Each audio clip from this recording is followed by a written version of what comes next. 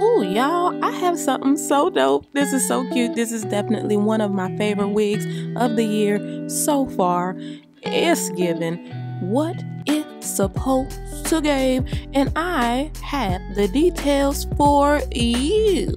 So, this wig is this is an Outre wig, y'all, formerly known as Outre. This is their HHB Body Wave 16. Of course, HHB is a human hair blend, which means it's human hair ish. Okay, not all the way. Okay, it's, it's a blend in there. It's got synthetic to it. Okay, that, that's where we are with that. This is a 5x5 closure wig. So, what that means is it gives you less parting space than a frontal. However, we're going to shift the closure today. Okay, now my hands were a little bit ashy because I, you know, you're washing your hands and stuff, so I had to get them good and greased up like they just got baptized. But we're going to talk about shifting the closure. Turn to your neighbor and say, sometimes you have to shift the closure. Huh? If you want that deep, ignorant side part, okay? You don't need a frontal. You just think you do. You don't, okay? So that's what this wig is. Now, the wig is gorgeous, okay? Let me tell you, the wig is coming at it just like the picture, okay?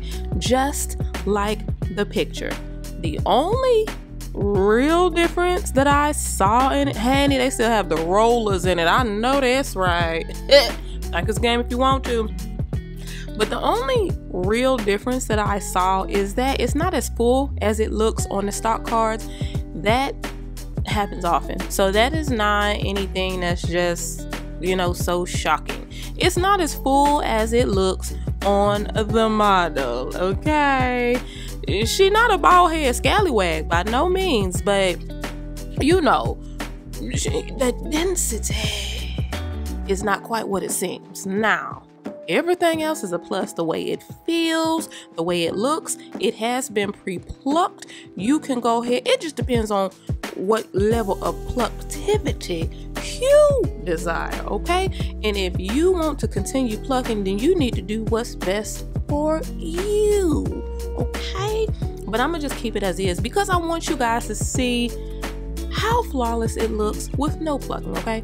Now, I'm just giving you kind of a visual of what it'll look like if you decide on a middle part, okay? And if you decide on a middle part, then you don't have to shift anything, okay? This does not pertain to those of you who want a middle part, okay?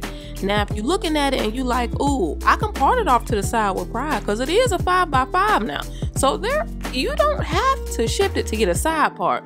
But sometimes you want to ignorant side part, okay? You want that thing to be so good and off to the side that you just you forgot you think it's a frontal. You forgot that it's a closure. You got that thing so good and deep and off to the side, honey. You done forgot you got a whole closure wig, okay? That's what we doing right here. And y'all, it's easy. It's not gonna make anything look off. But sometimes I know what, what you think. Is that gonna make the wig look lopsided? Uh-uh. I'm gonna show you. Just move it. Now, I started to I, I kind of wanted it a little bit deeper. I started a little small shift and then it called for a greater movement, okay? So I did that. Now right here, you will notice, yes, I am hot combing on, on, the wig on my face, but I'm pulling the lace from my forehead, okay? Because I don't need what? Third degree burns, okay? That's where we are with that. And I'm just shaping the front part right here, y'all, just so you can see how easy breezy this is. Remember, I did no plucking to this, okay?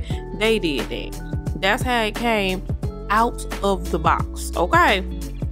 So that's that. So I'm just kind of shaping it how I want it. You really don't have to do any of this if you don't want to, but if you're trying to be extra, then you know, hey, you gotta do what you gotta do, right? Okay. Now, they say this can be glueless. The wig is nice and roomy. It's a medium-sized cap, but it's a it's a, a, a big medium. You know what I'm saying? My domology requires a small. So, with that being said, I decided to go ahead and melt it because I got some things to do today, okay?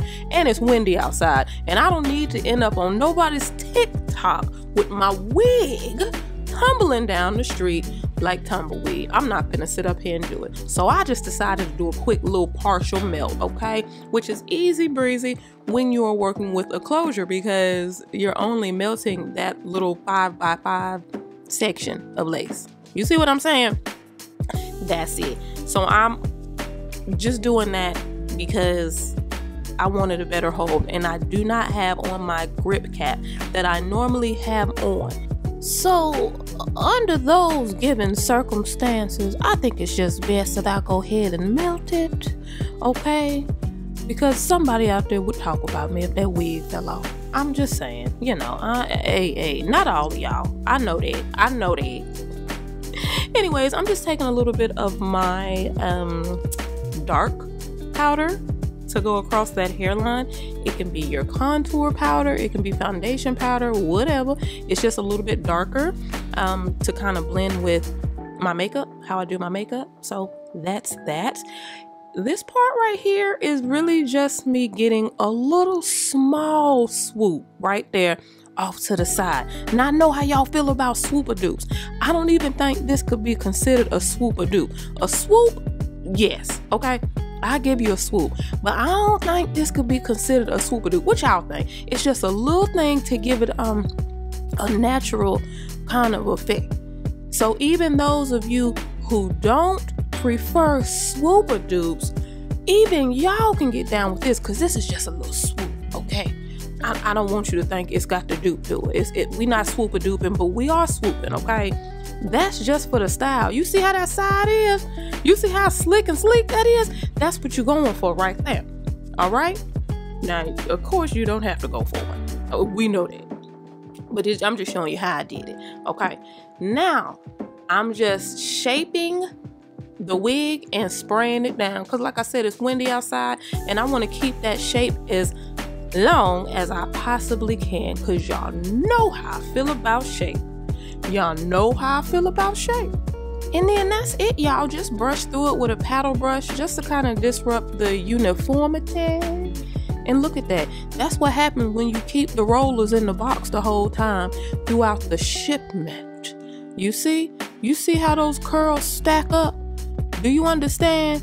That's why Outre keeps the rollers in the box okay. So, yes, you do not need a frontal, honey, to make it look like you got a frontal. All right, because you know frontals cost a little bit more. So hey, you trying to save a couple dollars, but you want it to look frontal-ish? Just shift it to the side. That's all, y'all. Look how beautiful this wig is. I knew it was gonna come at it like that. I knew it. I knew it. I was right. You have to have a, a level of wig discernment out in these wig streets. And uh yeah, they did that, y'all. Blow those comments up. Let me know what color you grabbing, okay? Peace, love, light.